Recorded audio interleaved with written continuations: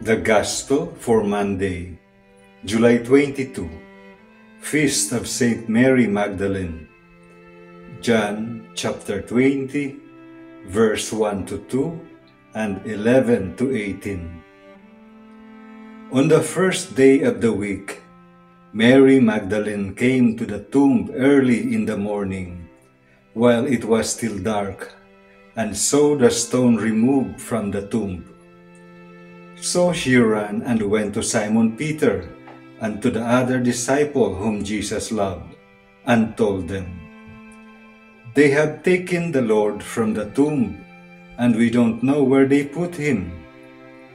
Mary stayed outside the tomb weeping, and as she wept, she bent over into the tomb and saw two angels in white sitting there, one at the head and one at the feet where the body of Jesus had been.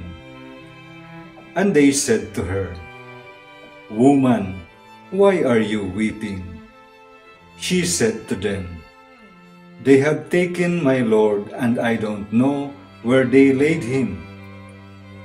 When she had said this, she turned around and saw Jesus there, but did not know it was Jesus. Jesus said to her, Woman, why are you weeping? Whom are you looking for? She thought it was the gardener and said to him, Sir, if you carried him away, tell me where you laid him, and I will take him. Jesus said to her, Mary.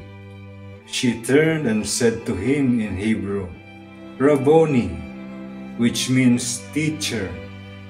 Jesus said to her, Stop holding on to me, for I have not yet ascended to the Father. But go to my brothers and tell them, I am going to my Father and your Father, to my God and your God. Mary Magdalene went and announced to the disciples, I have seen the Lord, and then reported what he told her. The Gospel of the Lord.